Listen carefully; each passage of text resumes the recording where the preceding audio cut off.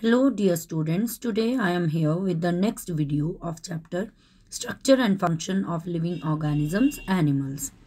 In this video we are going to discuss about the respiratory system and the circulatory system. First is the respiratory system. So what does respiration means? Dear students, respiration is the process in which oxygen is taken in and that oxygen is used up for breaking down of food that results in the release of the energy. In simple words, it's the process by which energy is released from food in our body. So the main function of respiratory system is to breathe in oxygen for producing energy from the food. This is a simple diagram of your respiratory system. The respiratory system uh, consists of the organs like nasal cavity, pharynx, uh, larynx, trachea along with the lungs and diaphragm. So one by one we will discuss these organs in detail. First is the nasal cavity.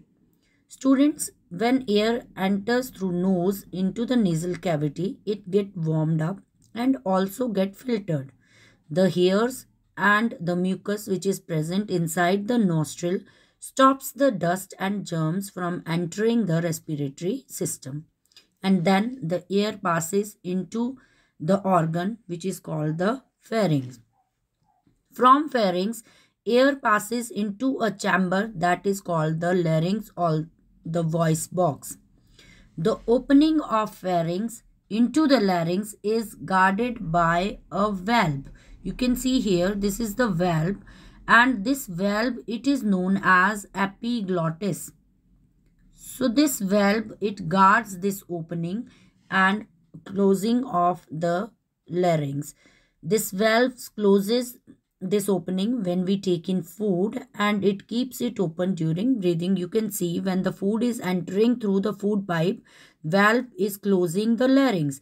And when the air is entering it is opening. So that's how this epiglottis work and then the air reaches the windpipe windpipe is a delicate muscular tube which is situated in the front of the food pipe in the neck region so it is about 12 centimeter in length and 2 centimeter in diameter. So length of the windpipe is 12 centimeter. It is 12 centimeter long and diameter is 2.5 centimeter.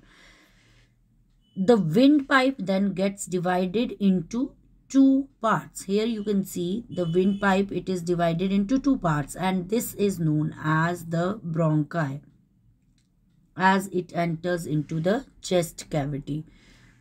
Next is the lungs. Students, when bronchi leads into the lungs, which are situated on either side of the chest cavity, lungs contains a number of air sacs or alveoli. You can see here. These are the air sacs or the alveoli which are present inside the lungs. So these lungs, they contain a number of alveoli along with the blood vessels. When air enters the lungs, the blood vessels around the air sacs take in oxygen and give out carbon dioxide and water. So oxygen is further carried by blood to different parts of the body. And in return, the carbon dioxide and water vapor is exhaled out from the lungs through nose. Next is the diaphragm. Dear students, lungs, they cannot move on their own. So it is the movement of this diaphragm along with the muscles between the ribs and the chest wall that causes the expansion and contraction of the lungs. So thus the breathing takes place. You can see how the lungs are expanding and contracting with the help of these muscles and the diaphragm. So this was all about your respiratory system. Now we are going to discuss about the circulatory system. Students, the nourishment which we get from the food and the oxygen which we inhale in and we get it from the lungs is carried out to different body parts by blood. So blood circulating in the body keeps on carrying fresh nourishment and bringing back the waste product from different body parts. So all this gets done by a system of organs which constitute your circulatory system. So the different organs involved in this process are your heart, blood vessels and your blood. So one by one we are going to discuss these things. First is the heart. Students, heart is located slightly towards the left in the chest. That's why your left lung is smaller than the right lung to accommodate the heart over there. It is a muscular organ roughly of the size of the closed fist and it is made up of cardiac muscles. Heart, dear students, is divided into two equal halves. Left half and the right half. You can see here. It is divided into two equal halves. So, this is the right half and this is the left half of the heart. Further, each half is divided into two chambers which have a common opening between them. So, there are thus four chambers. You can see here there are four chambers right atrium left atrium right ventricle and left ventricle. So the left auricle or atrium and the left ventricle contains oxygenated blood which you can see is of red color. So this is oxygenated blood or the blood which is rich in oxygen. And the right part of the heart contains the blood which have uh, carbon dioxide in it or we can say that blood is rich in carbon dioxide so what is the main function of the heart? Or heart pumps blood to the body parts and keep it moving in the blood vessel. So this is the job of the heart to pump the blood throughout the body. Next is the blood vessels. Students blood moves around in the body through a system of tubes and these tubes they are called blood vessels. They are of three types arteries, veins and the capillaries. So the vessels which take blood away from the heart to various body parts, they are known as the arteries.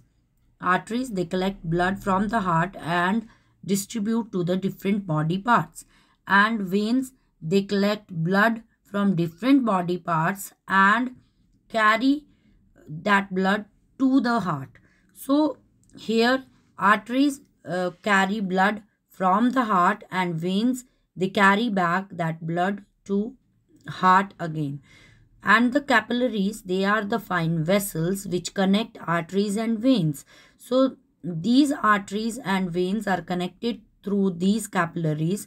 The main function of capillaries is collection and distribution. One thing more that these arteries they are elastic and thick walled also they are deep seated why arteries are thick walled because they have to bear the pressure of the blood. Heart pump the blood. So arteries need to bear that uh, pressure. So that's why they are uh, thick walled as well as elastic. Veins they have to just collect the blood from different body parts. So that's why they are thin walled and superficial. They are just located below the uh, skin and these arteries and veins they are connected to each other by these fine vessels which are known as the capillaries. Next is the blood. Dear students it is the thick red fluid which contains your uh, red blood cells white blood cells blood platelets and these all blood cells they float in the plasma which is the fluid part of the um, blood so uh, these uh, RBCs, WBCs and platelets, it uh, forms your blood. Next is the function of the blood. So dear students, the function of the blood are to transport oxygen, food material and hormones to all part of the body. The blood take back carbon dioxide from all parts of the body to the lung it also protect body from diseases and other infections as I uh, told you before also the uh, white uh, blood cells they uh, help in protecting us from various diseases and also this blood maintain our body temperature. Next uh, students blood is of red color as you all know blood is of red color. The reason behind is that hemoglobin which contains iron it gives red color to our blood. Insects they have a blue green or colorless blood because uh, the, their blood do not contain hemoglobin. As well as humans have four types of blood groups a b ab and o. Students the left side of the heart is bigger than the right side of the heart and the heartbeat is the sound that heart makes when the heart valves open and close a doctor can listen to the sound by placing a stethoscope on your chest. The heart of newborn baby beats 140 times per minute whereas the heart of 3 years old child beats 100 times per minute. So that was all about these two topics. Thank you and have a nice day ahead.